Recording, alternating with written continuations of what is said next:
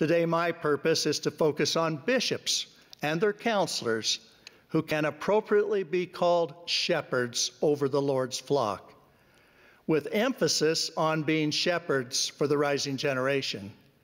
It is interesting that the Apostle Peter referred to Jesus Christ as the shepherd and bishop of your souls. The bishop has five principal responsibilities in presiding over a ward. He is the presiding high priest in the ward. He is president of the Aaronic priesthood.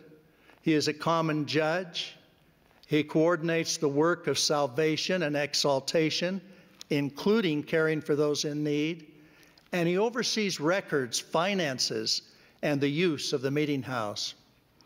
In his role as presiding high priest, the bishop is the ward's spiritual leader. He is a faithful disciple of Jesus Christ. In addition, the bishop coordinates the work of salvation and exaltation in the ward.